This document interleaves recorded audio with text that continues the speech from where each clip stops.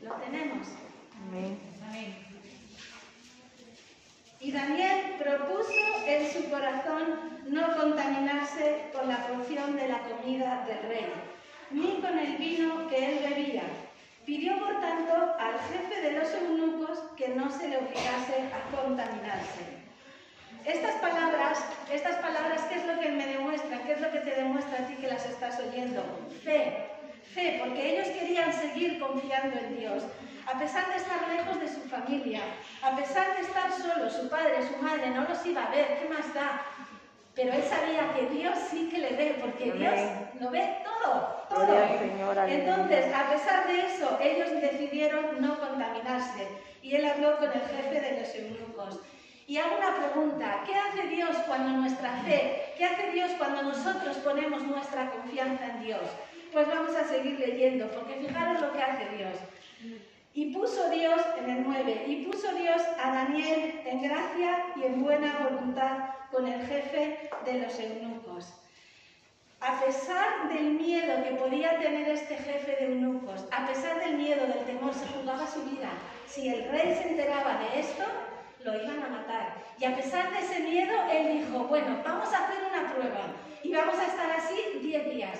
Vais a comer legumbres y vais a beber agua. Ese fue el plan que ellos hicieron. Y yo no sé vosotros, pero a mí esto me llama, me dice que es confiar en Dios.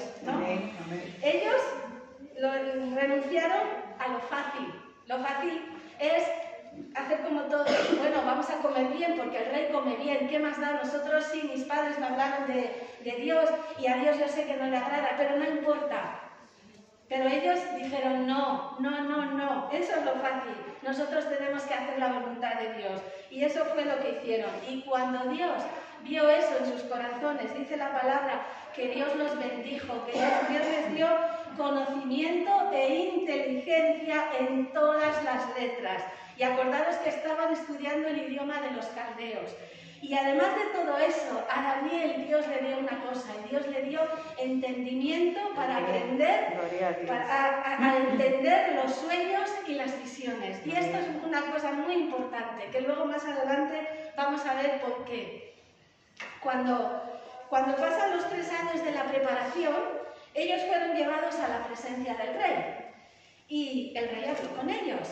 Y los halló, ¿sabéis cómo dice? Los halló después de hablar con ellos, de su semblante, para nada, para nada, estaban tres años comiendo legumbres y bebiendo agua. Su semblante estaba, imaginaros cómo, precioso. Porque cuando hacemos algo para el Señor, y a veces le digo, Elvirita, qué guapa estás, es el Señor, no he dormido. Pues así es. Así me imagino yo que el rey vería a estos jóvenes, ¿no? Entonces dice la palabra que los halló diez veces mejores que todos los sabios y los astrólogos que había en su tiempo en el palacio. Cuando disponemos nuestro corazón a Dios, Dios nos ayuda y Dios nos bendice. Así que no tengamos temor de poner nuestra mano, nuestra vida en sus manos. No tengamos temor de decir, quiero servirte. El jefe, el jefe de los eunucos por orden del rey, en estos tres años quiso que estos cuatro jóvenes se olvidaran, ¿sabéis de qué? De su cultura, de su idioma y de sus nombres.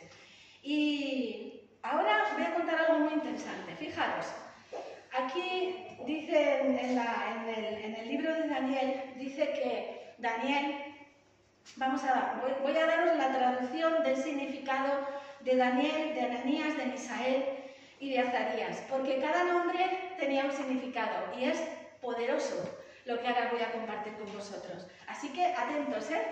Nada de distraeros, y menos los jóvenes, ¿eh? Luego voy a preguntar, si no el próximo día. bueno, Daniel significa Dios es mi juez. Ananías significa amado del Señor. Misael significa quién como Dios.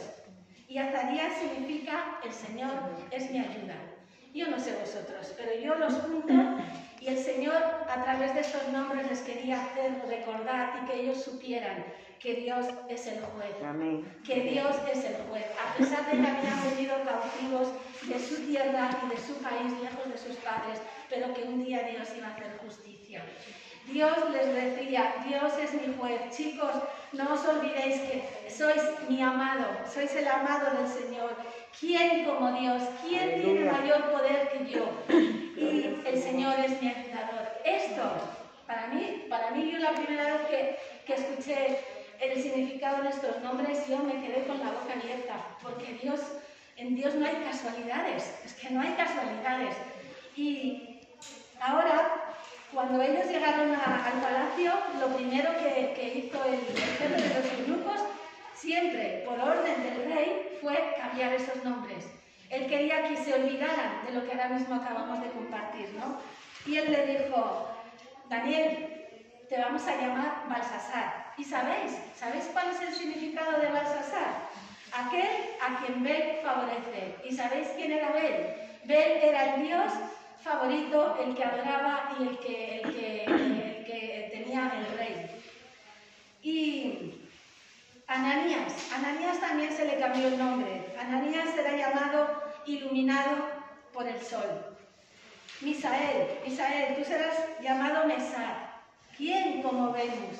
Fijaros cómo el enemigo muchas veces nos quiere quitar esa identidad que tú y yo tenemos y Azarías será llamado Abednego, ¿Qué significa siervo de un Dios falso. ¿Esto es casualidad? No, las casualidades en Dios no existen. El rey, el rey quería que se olvidaran de su cultura, de sus raíces, de su idioma, de sus nombres, que perdieran su identidad, que son unos hijos de Dios.